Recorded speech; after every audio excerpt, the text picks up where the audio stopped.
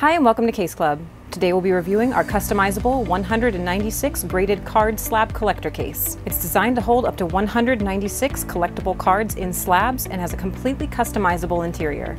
This heavy-duty waterproof case is perfect for traveling with your collection or storing it safely at home. To configure your customizable foam, there are a few methods that can be used.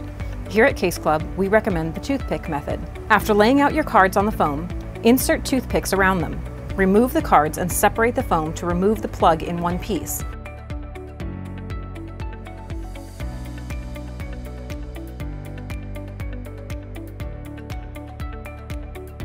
This will allow you to cut the plug down to adjust the depth of the cutout if necessary, or to cut a thin pad for the bottom of the cutout if it goes all the way through the layers of the foam.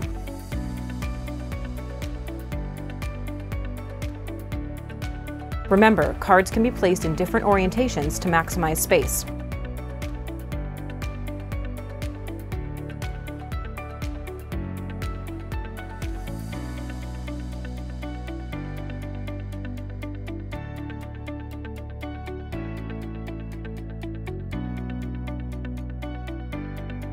If you make a mistake, the foam can be glued back in place using a hot glue gun.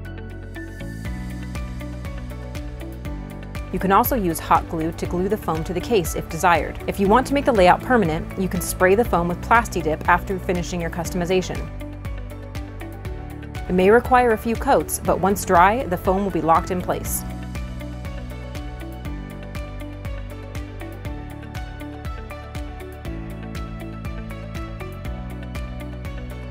Once fully customized, the case can hold up to 196 cards in slabs or any combination of slabs, loose cards, or cards in sleeves. And the foam in the lid is a soft convoluted polyurethane, whose ridges help to secure everything in place when the case is closed. You can find this product and many more at caseclub.com, the industry-leading manufacturer of cases and custom foam.